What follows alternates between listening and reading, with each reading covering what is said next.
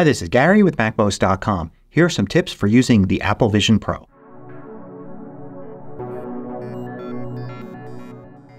MacMost is brought to you thanks to a great group of more than a thousand supporters.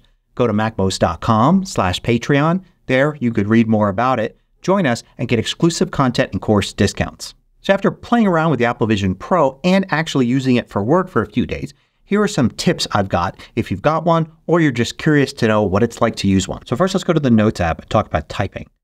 So of course you can type here in the Notes app and you can do it with this keyboard that's on the screen and you can either touch the keys directly, like physically with your fingers, and you can use two hands to do this.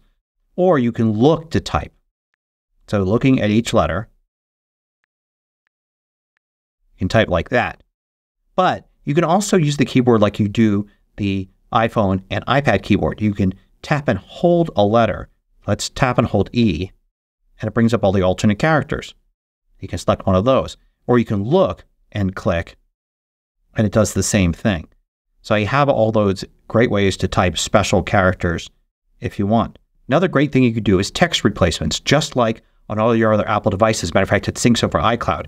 So you can do something like OMW, and you can see on my way appears there as the replacement, or you can just hit space and you can see how it typed it in there.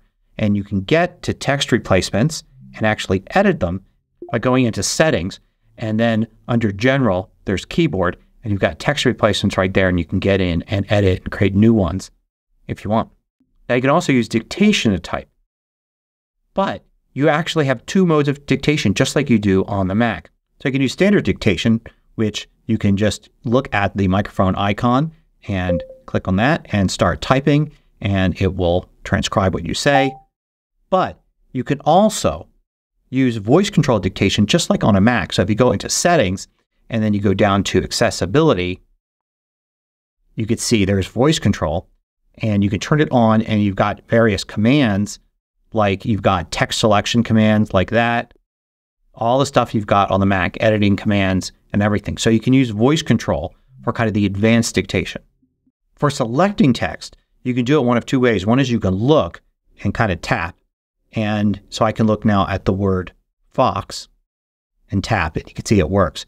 And I can also reach out and grab text. So let's get rid of the keyboard here. And I'm going to bring the window closer to me.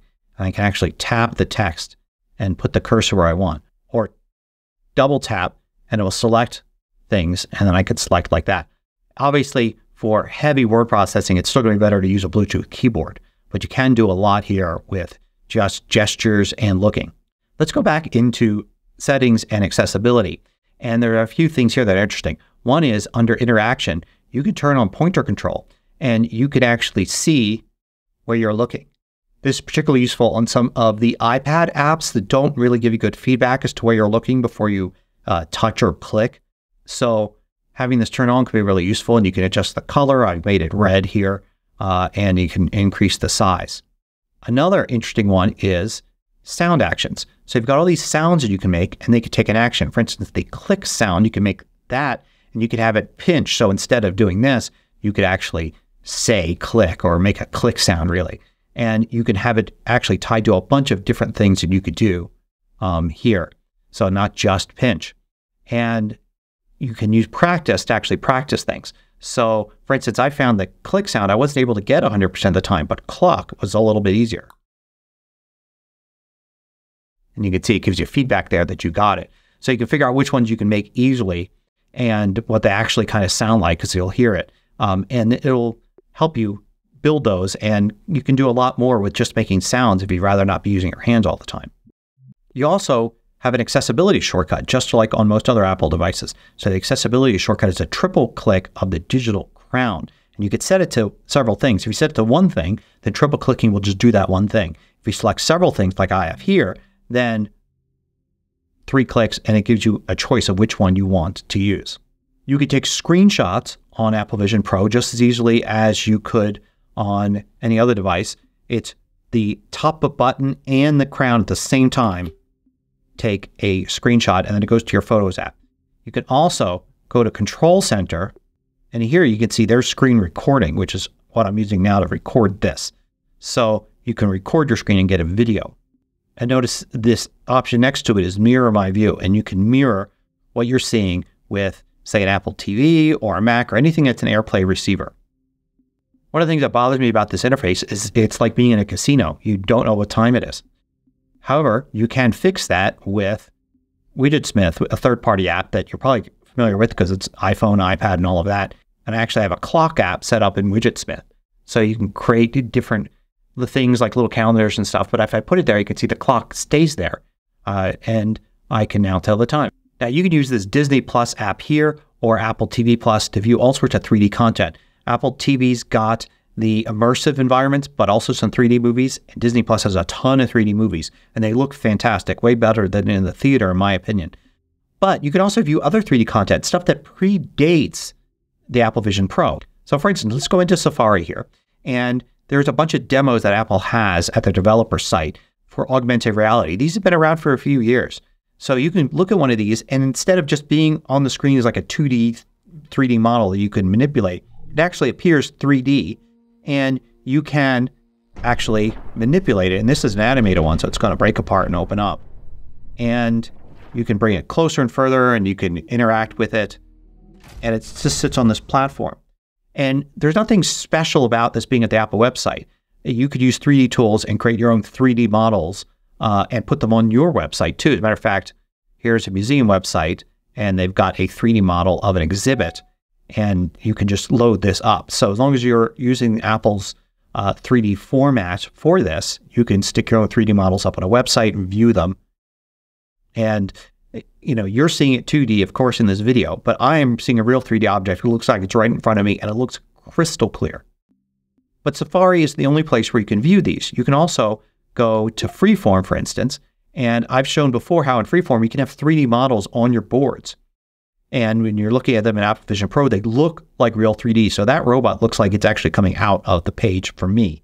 And I can actually do the quick look view of it and move it all around. And it's a crystal clear 3D view when you're looking in the Apple Vision Pro.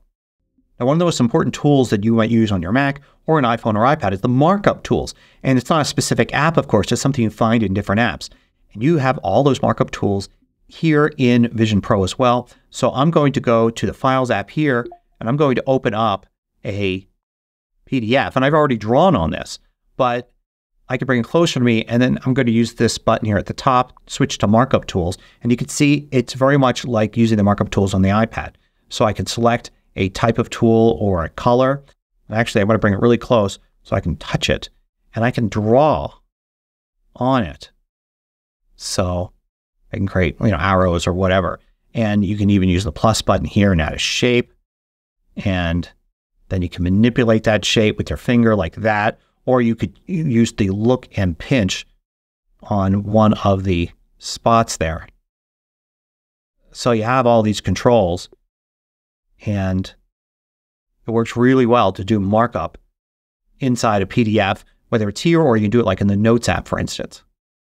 Now, you may have noticed the Joshua Tree environment here, which is a very realistic 3D looking environment that I'm in. And I don't have it all the way around me. You can see my office if you go to the edges. I find it's really useful while you can dial it way back and see the area around you. It can be distracting. Um, you can dial it all the way in, and then you've got just the environment everywhere. But a lot of times I find myself using a background just behind what's directly in front of me to create kind of this background that I can more easily see things like these icons and other things going on in other apps. And speaking of environments, if you choose one in particular, this Hawaiian volcanic crater, um, I don't know if you're going to be able to hear this very well, but you could actually hear an echo if you say something loud. Echo.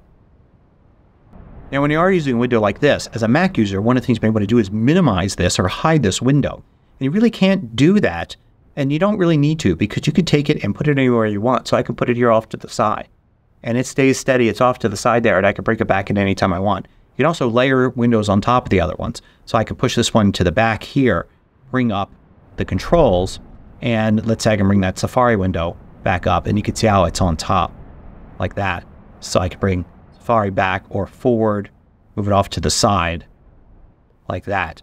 And most of the interactions I've seen from other people, and in truth, what I'm doing is mostly looking and tapping with two fingers, uh, sometimes touching objects though on the screen. And I think we can have a clue of the future if we actually look at the DJ app and you go into that, you can go into a 3D room and it'll actually change the interface so that you've got 3D objects in front of you and you can control these pressing buttons, manipulating controls, even multiple ones at a time, like that, stopping the record, lifting up the needle, um, even going over to the side here and selecting like a new record and placing it on another turntable here. So this really feels better. It feels like you can really manipulate things in the real world. And I even have these controls up here. I have these special effects controls. I'd like to see a lot more interfaces that are using physical controls like this. But I have to say, I think the real killer app right now is simply in Photos. You can view panos. And these are the panos that you've already taken on your iPhone. I've taken many for years, and I'm so glad I have because when you go and you view one of these, you view it like this, but I can also go to the immersive button right there. And now it's all around me. And it looks fantastic. I've been going back and spending a lot of time looking at my old panos. I'm so glad I took a lot of them in the past. You don't get that weird curve like you do when you're looking at on a flat screen. Uh, it, it really feels like you're there in that space again. And not only am I glad I took a lot of panos in the past, but I am sure going to be taking a lot of panos from now on. Anytime I see something picture worthy from now on, even if I just take a regular photo, I'm also going to take a pano, knowing that I can look at it like this inside of Vision Pro. Now, of course, right now, we've got a lot more iPad apps than we do actual native uh, Vision Pro apps. So, an important tip when using those is some of those can be used in different orientations. When that's the case, you go to the top right hand corner, you can tap that button there and change the orientation, which is going to be important since you can't really indicate any other way how you want to orient the kind of pseudo iPad screen that you see in Vision Pro. Now, the first day I used it, I got a little bit of eye strain. And I had this idea that it was because everything was so bright. I got the same kind of eye strain whenever I maybe accidentally have a computer screen turned up too bright and I use it for a long time. So I simply went into settings and then I went into display right here and I was able to turn the brightness down.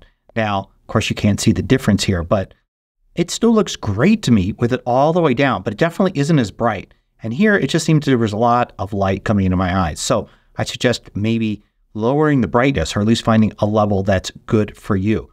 And now, this being such a new platform, of course, you're going to have lots of apps that uh, might have trouble. So you want to force quit an app. To force quit an app, all you need to do is press the button and the crown at the same time. Press and hold until you see this window appear. And then you get a window at the very back like that you can select an application and force quit it. You also use the same technique to shut down Apple Vision Pro. I've seen people just disconnect the power from it uh, to turn it off. I like kind of gracefully shutting it down.